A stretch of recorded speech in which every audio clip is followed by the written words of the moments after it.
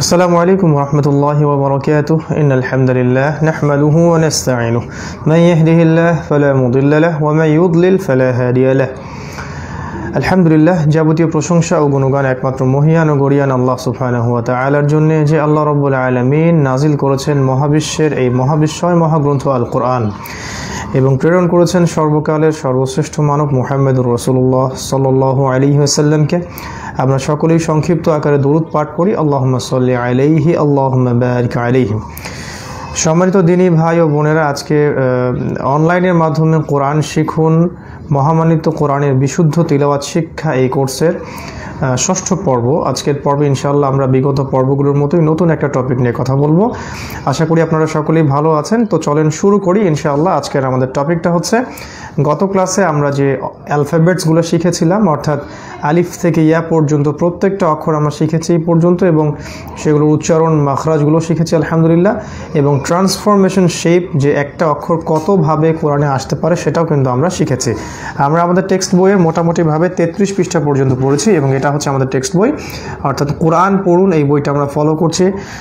Academy of Quran studies থেকে এটা publish করা হয়েছে, যেটা ঢাকায় পাওয়া যায় এবং চিটাগাঙে পাওয়া যায়, যার ঠিকানা আমরা আমাদের ডিসক্রিপশন বক্সে দিয়ে দিয়েছি।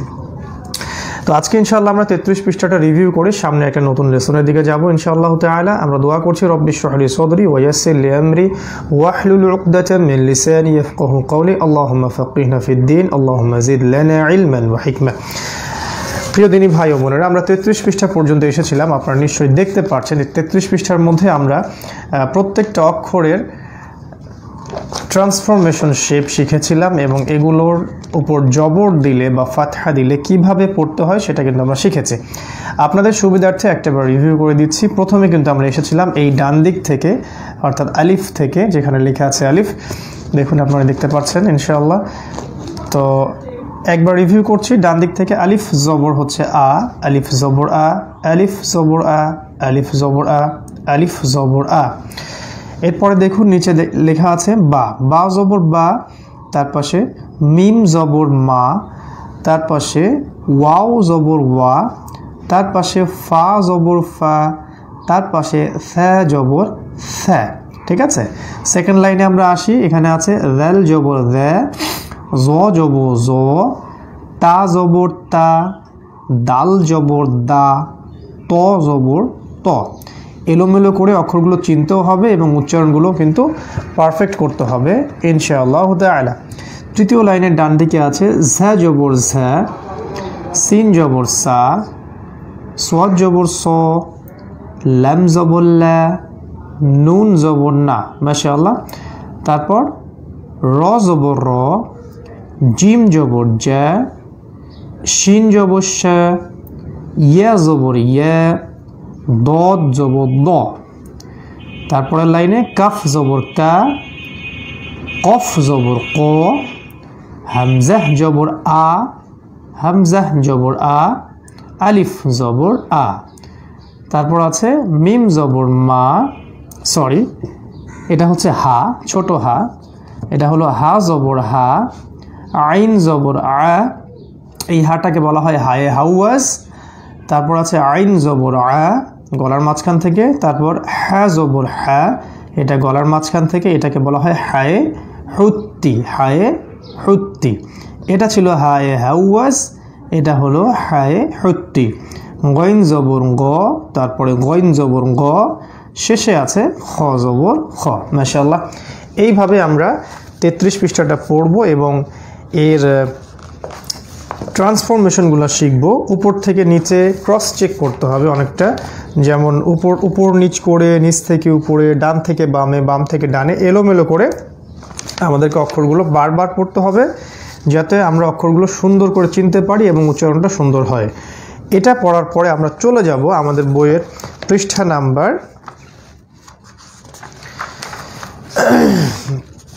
আটত্রিশে, অর্থাৎ আমাদের টেক্সট বই, এই যে টেক্সট বই, এটার আটত্রিশ পৃষ্ঠায় আমরা চলে যাব এবং আটত্রিশ পৃষ্ঠায় গিয়ে এই যে আমরা জবর দিয়ে অক্ষরগুলো শিখলাম এবং অক্ষরগুলো চিনলাম, এখন আমরা কোরআনের জবর কেন্দ্রিক শব্দগুলোকে বাছাই করে করে পড়ব অর্থ সহ ইনশাআল্লাহ তালা আমরা কিন্তু একটু হার্ড লেভেলে যাচ্ছি আস্তে আস্তে।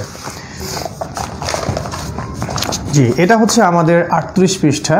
আমি একটু দেখাচ্ছি আপনাদের সবার সুবিধার্থে। এটা হচ্ছে আমাদের আটত্রিশ পৃষ্ঠা। সরি এবার হয়তো ক্লিয়ারলি বুঝতে পারবেন। এটা হচ্ছে আমাদের আটত্রিশ পৃষ্ঠা। দেখুন, আটত্রিশ পৃষ্ঠায় এইভাবে একটা বক্স করে দেয়া আছে এবং বক্সের মধ্যে কিন্তু অক্ষরগুলো অক্ষরগুলো তো আছেই এবং এগুলোকে কেন্দ্র করে ছোট ছোট শব্দ দেয়া আছে এবং সবগুলোই জবর কেন্দ্রিক এই প্রত্যেকটা শব্দই কিন্তু কোরআন থেকে বাছাই করা। তাই এই অক্ষর, এই শব্দগুলো শেখার মধ্য দিয়ে আপনি কিন্তু কোরআনের ওয়ার্ডসগুলোই শিখছেন।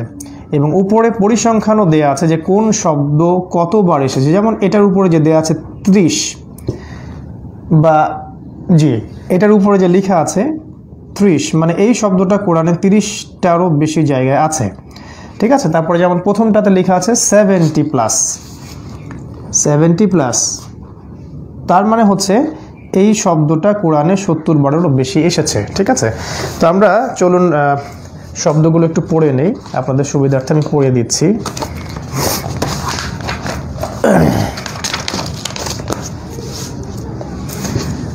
প্রথমে এই যে এটা দেখতে পাচ্ছেন কি না এই যে। প্রথমে দেখুন। এবার হয়তো দেখতে পাচ্ছেন ইনশাআল্লাহ তাআলা। প্রথমে দেখুন, এই যে ডান দিকে লেখা আছে, দেখুন, লাম জবর লা, লাম জবর লা, লাম জবর লা, পাশে আছে কাফ জবর কা। তাহলে লাম জবর হচ্ছে লা এবং কাফ জবর হচ্ছে কা। তাহলে লা আর কা, দুইটা মিলে হয়ে গেল লাকা। ঠিক আছে? লাকা। লাম জবর লা, কাফ জবর কা, লাকা। লাকা অর্থ কি? নিচে দেয়া আছে, তোমার জন্য। তোমার জন্য। লাকা অর্থ তোমার জন্য। ঠিক আছে? এটা সত্তর বারেরও বেশি কোরআনে আছে, এটা কোরআনের ওয়ার্ডস লাকা। তারপরে দেখুন, পাশে লেখা আছে, মিম জবর মা, আইন জবর আ। আমরা জানি মিম জবর মা আর আইন জবর আ। তাহলে মা এবং আ, দুইটা মিলে কি হয়? মা আ মা আ মা আ। এই মা আ শব্দটাও কিন্তু কোরআনে অনেকবার আছে। উপরে একটু পরিসংখ্যান দেওয়া আছে, আপনারা দেখতে পারবেন। আর মা অর্থ হচ্ছে সাথে। মা মানে হলো সাথে। তারপরে আছে দেখুন, তা জবর তা এবং র জবর র। তা জবর তা, র জবর র। তা এবং র। দুইটা মিলে হলো তার তার তার তার মানে হলো তুমি দেখো তুমি দেখো। আমরা আমরা কিন্তু জানি, আলাম তার কাইফা ফাআলা রব্বুকা বি ফিল? মা শব্দটাও ছিল কিন্তু, ইন্নাল্লাহ মা সাবিরিন। হ্যাঁ প্রত্যেকটা এই ওয়ার্ডস কিন্তু কোরআন থেকে নেওয়া হয়েছে। এতে করে আপনাদের কোরআনিক ওয়ার্ডগুলো কিন্তু শেখা হয়ে যাচ্ছে, আলহামদুলিল্লাহ। তারপরে দেখুন, এবার তিন অক্ষরের। প্রথমটা হলো, জিম জবর যা আইন জবর আ যা লাম জবর লা। তাহলে যা লা। যা আ লা জিম জবর যা আইন জবর আ লাম জবর লা যা আলা যা আলা যা আলা অর্থ নিচে দেয়া আছে, সে বানিয়েছে। সে বানিয়েছে। তারপর আছে দেখুন মিম জবর মা, আইন জবর আ, মা আ, কাব জবর কা। মা আ কা। মা আ কা। তোমার সাথে। মা কা মানে তোমার সাথে। তারপর আছে তা জবর তা, র জবর র, তা র তা র কাপ জবর কা। তা র কা, তা র কা, তা র কা। তারকা মানে? তারকা শব্দের অর্থ হচ্ছে সে ত্যাগ করেছে। তারকা মানে সে ছেড়ে দিয়েছে বা সে ত্যাগ করেছে। ঠিক এভাবেই তার নিচের লাইনে দেখবেন, লেখা আছে যে খ জবর খ লাম জবর লা খলা কফ জবর ক খ লা ক একসাথে করলে হয় খলা ক খলা ক খলা ক অর্থাৎ সে সৃষ্টি করেছে, সে সৃষ্টি করেছে। তারপর, বা জবর বা লাম জবর লা বালা বালা গইন জবর গ বালা গ বালা গ অর্থাৎ সে পৌঁছে দিয়েছে বা সে পৌঁছে দিল। তারপর দেখুন আলিফ জবর আ, খ জবর খ, আ খ আ, খ এবং দ্যাল জবর দ্য আ, খ দ্য আ, খ দ্য আ, খ দ্য সে ধরেছে বা সে পাকড়াও করেছে এমন অর্থে আসে আর কি। তারপরে শেষের লাইনে দেখতে পাচ্ছেন চার অক্ষরের শব্দগুলো আছে, চার অক্ষরের। যেমন ওয়াও জবর ওয়া, খ জবর খ, ওয়া, খ, লাম জবর লা, ওয়া খলা কব, জবর ক। ওয়া খলা ক ওয়া খলা ক এবং সে সৃষ্টি করেছে। ফা জবর ফা, বা জবর বা, ফা বা, আইন জবর আ, ফা বা আ, সা জবর সা। ফা বা আ সা, ফা বা আ সা। ঠিক আছে? অতএব সে প্রেরণ করেছে। ওয়াও জবর ওয়া, জিম জবর জা, ওয়া জা, আইন জবর আ, লাম জবর লা। ওয়া জা আলা ওয়া জা আলা এবং সে বানিয়ে দিয়েছে। এইভাবে আমরা কিন্তু আটত্রিশ পৃষ্ঠাটা শেষ করে দিলাম, আলহামদুলিল্লাহ।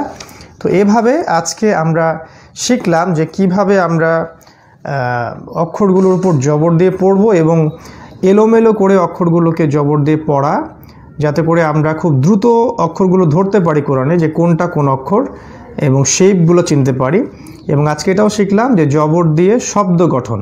কোরআন থেকে বাছাইকৃত কিছু শব্দ আমরা শিখলাম এবং এই শব্দগুলো কোরআনে অনেকবার রিপিট করা হয়েছে।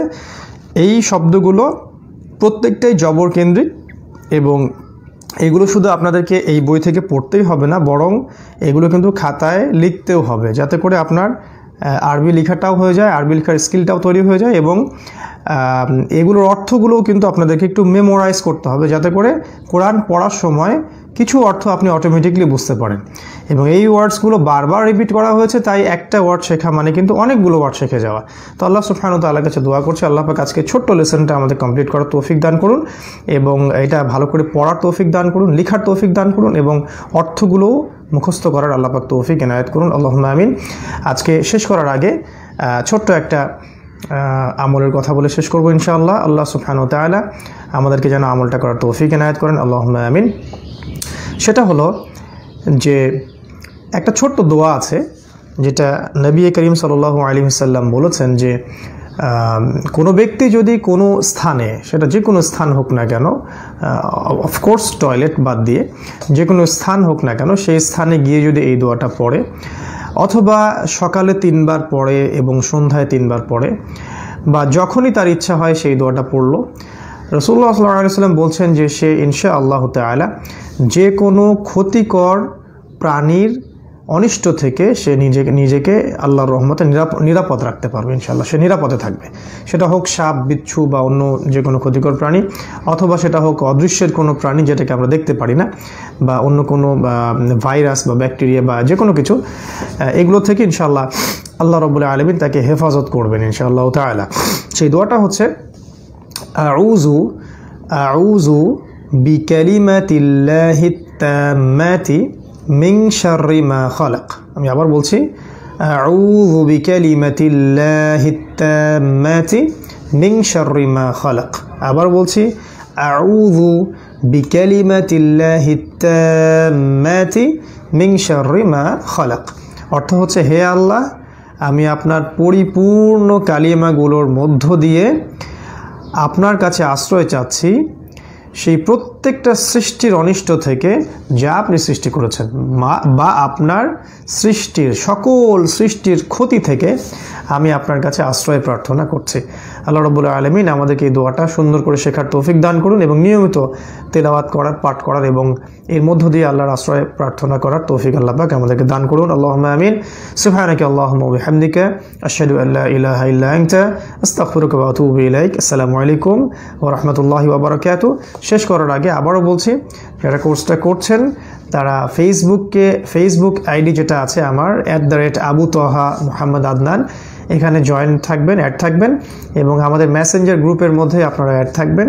আমাকে ইনবক্সে নক করলে আমি আপনাদেরকে সেই মেসেঞ্জারের গ্রুপগুলোতে অ্যাড করে দেবো ইনশাল্লাহ আর যারা কোর্সটা করছেন তারা অবশ্যই অবশ্যই বই কালেক্ট করে ফেলবেন এবং যারা রেজিস্ট্রেশন করেননি এখনও অনুগ্রহ করে রেজিস্ট্রেশন ফিস আমাদের বিকাশ নাম্বারে পেমেন্ট করে দিবেন। ইনশাআল্লাহ তাহলে আল্লাহ পাক আমাদের সবাইকে সুস্থ রাখুন, নিরাপদ রাখুন এবং পবিত্র কোরআনুল আলোকে আমাদের জীবন করার তৌফিক আল্লাহ পাক দান করুন। আল্লাহ আসসালামু আলাইকুম রহমতুল্লাহি বাবরকাত